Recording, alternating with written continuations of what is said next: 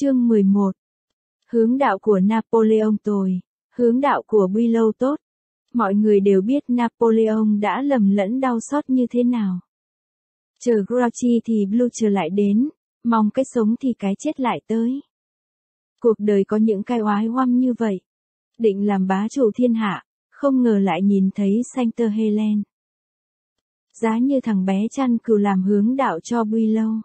Tướng của Blucher, khuyên ông ta đổ ra cánh đồng bên kia theo con đường rừng phía trên Frisermon chứ không phải ở dưới Plancenoy, thì hình thế của thế kỷ 19 có lẽ đã khác nay. Napoleon có lẽ đã thắng ở Waterloo.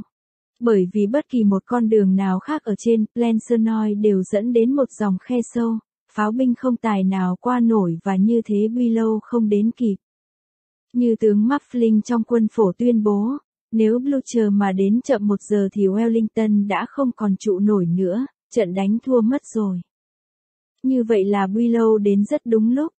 Sự thực, ông ta đã gặp nhiều trở ngại không thì đã đến sớm hơn thế. Đêm trước ông đóng giã ngoại ở Dion Le Mông và sáng sớm đã ra đi. Nhưng đường xấu quá, các sư đoàn đều mắc phải lầy, không tiến được. Các cỗ pháo ngập bùn đến nửa bánh xe lại phải vượt sông đai bằng mỗi cái cầu hẹp ở Hoa Vơ. Đường lên cầu lại bị quân Pháp đốt, nhà cửa hai bên đường còn đang cháy. Vì thế các hòm đạn, các xe cộ của pháo binh phải chờ cho lửa tắt mới dám đi qua. Mãi đến trưa mà tiền đạo của Bülow vẫn chưa tới Saint Lambert. Trận đánh nếu bắt đầu 2 giờ sớm hơn, thì đến 4 giờ có lẽ đã xong và dù Blucher có đến thì cũng đến vào lúc Napoleon đã thắng. Trận, những điều ngẫu nhiên lớn lao như vậy thật là sự tính toán của cõi vô biên nào, ta không tài gì hiểu nổi. Từ trưa, Napoleon là người đầu tiên, nhìn thấy qua ống nhòm ở phía cuối chân trời một cái gì là lạ làm ông để ý. Ông nói, ta thấy đằng xa kia có một đám bụi hình như là quân đội. Ông lại hỏi quận công Dan Mati. Sâu, ông thấy gì phía Saint Lambert không? Thống chế sâu đưa ống kính của mình về phía đó, đáp lại. Tàu bệ hạ, có đến 4 hay 5 nghìn người, chắc chắn là quân của Grouchy. Nhưng đám bụi cứ im lìm trong sương mù.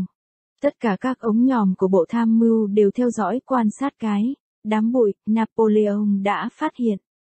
Có người cho đó là những quân đoàn đang nghỉ. Phần lớn đều nghĩ rằng đó chỉ là những đám cây. Trên thực tế đám bụi ấy đứng im thật.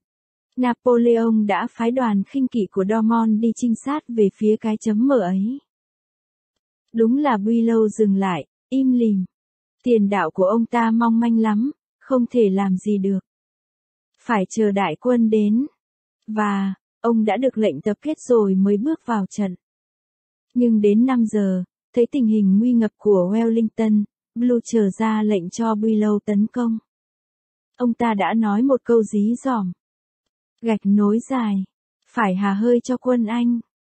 Một lúc sau, các sư đoàn Lostin, Hiller, Hắc và Rizzo triển khai trước phòng tuyến của Lô Bao.